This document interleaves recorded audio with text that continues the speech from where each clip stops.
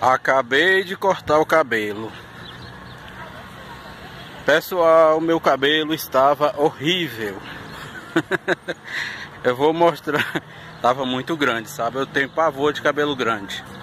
Eu vou mostrar aqui o centro da cidade porque eu tô indo bem ali no mercado fazer umas compras.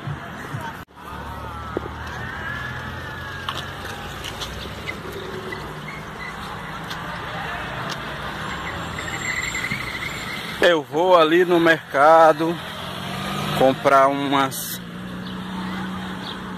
Vou falar logo aqui pra vocês. Eu vou ali comprar uma lasanha.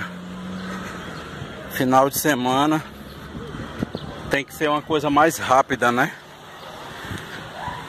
Cidade Ocidental, Goiás. E você vai se inscrevendo aí no canal, deixando muito like pra nós. Valeu!